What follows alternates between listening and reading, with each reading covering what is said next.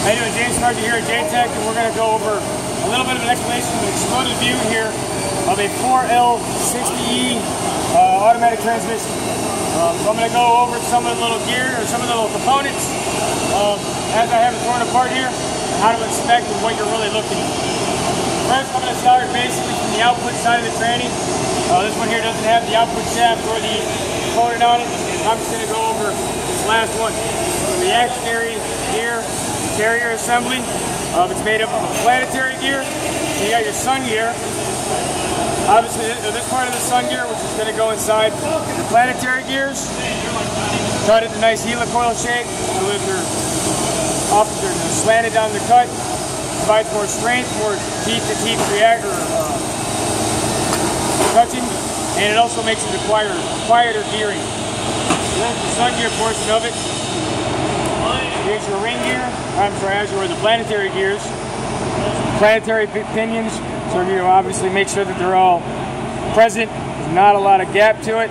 Um, when you're, if you're to tear one of these apart to rebuild it, you're going to want to, you know, use the manufacturer's manual, uh, which I do happen to have here on the computer. But checking on your spacing to ensure that you've got clearances on both sides. looking for any deterioration, anything loose on it. Right here is where your clutches will sit. You're going to look for any deteriored, uh, broken teeth or chipped here that might might allow a clutch to damage the clutch plates or go for. And then the actual carrier assembly, same thing. This is the outer ring gear portion of the planetary gear set. Also still has the um, clutch teeth to it here, so it'll be uh, started and start or stopped or free spinning, depending on what's uh, what's going on with the clutch. Then we're going to go on to the next portion here in the.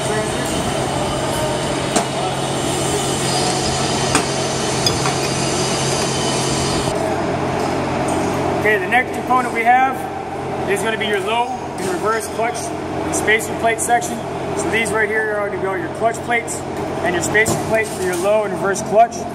Um, right now they're all misaligned, but you're going to have your, your spacer plates, your disc plates, and then you're going to have your friction plates. And on here on your friction plates, you want to inspect obviously the internal teeth, so that way you see if there are any are bent or broken, any discoloration or excess wear that's on these friction plates. Uh, these don't have it, but actually, uh, yes they do. Really hard to see, but there's small S's that are going to be right for basically three places around there, and that allows fluid to get in between them for cooling and for when during during while they're free spinning for lubrication. And then when they're clamped together, all that fluid is released, they stick together nice and hard. This wave plate right here is one of the main plates that connects on the outside. Will help also hydraulically compress and, and be the, the, springing action basically on the, the, compression of the release of this uh, these clutches. So when you go put them in, if you were to get a bunch of brand new ones, the order here doesn't matter. All it, what does matter though is that you're going friction, spacer, friction, non-friction, you know. So you're alternating like that. Obviously these are all teeth all the same. These have alternating directions, so these are a little bit more important that you get these directions right. And again, refer to your manual, because each manufacturer is a little bit different. So now we're going to go and move on to the next piece. All right, now we're going to move over to the input shaft. This is the input shaft that comes off the torque converter. Sits up in the front portion of the transmission, sticks out into the bell housing. Um, we got some thrust washers that go up in here, so you're going to make sure that those are all in serviceable, serviceable serviceability. You got a compound clutch assembly. It's down in here. These are spring loaded. There's a snap ring right in here. We didn't take this one apart, but also this one here helps control the clutches, which are your third and fourth clutch pack. And gear assemblies go inside of this. These are also another pinion gear set. A little bit reverse. Another planetary gear set, I'm sorry. Where this will be mounted on the shaft, and this is the connection shaft to the output portion carrier assembly. Obviously, your sun gear would be your output shaft.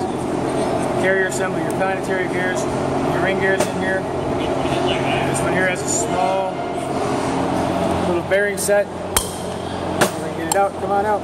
Doesn't want to come out now. Small little bearing right in here. You see it move around, and those got small little needle bearings in it. So you want to make sure that has free movement to it. Upside down. See how easily that comes together, goes together, comes apart. Again, different types of clutch packs. Again, they have thrust washers, friction washers. This one here, there's no friction material on these at all anymore. So this one here is burnt heavily. This one here has very little friction material left on it. This is heavily worn. So this one here definitely require replacement if you're rebuilding to go and put this back in the car. Being this is just a shopping example, we can tear it apart for students to use and take a gander at to learn some of the pieces. Again, look at the outer teeth, find any that are bent or broken. Same thing on the inner teeth. We got a couple here that are fairly worn. They start wearing down right in these little grooves. You can see them, so that's so that you can see it starting to use a little bit of axial, axial movement in it. It's right there, wears out that clutch and that gear. So now you'll have slipping gears. You're going to be able to go forward or reverse, depending on which gear for it in, or sometimes both. Again, more gear sets and how they're showing. These ones here nice. They show nice, nicely how the, the, the grooves are to allow fluid to come in and out of. Then again, inspect the gear, inspect the, uh, plates, look for the even wear on any of the friction material, even no wear or excess wear on the, the, the gear teeth. This here is your, band, your, your, your brake band. It helps um, engage and disengage some of the clutches. This will sit up around in through here. And again, once it engages, it'll tighten this up to stop this and transfer some of the power flow to different clutches. This will sit down inside the transfer. That'll go down inside. You also got spring gear or spring clamps. These here help hold all the components together. So make sure that there's still tensile on them. You don't want to over flatten them or put them in too tight. These snap rings, nice high tension. Over here is your uh, valve body. There's a gasket, plate, another gasket. That's your little little wood, your little pin, your key for holding in your holding still your, your brake brake pad. Now this one here is missing a couple of the ball bearings in there.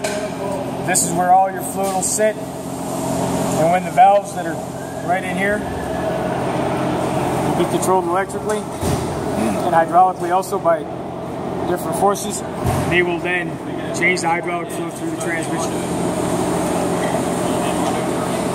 And this thing has a various number of different sensors to it.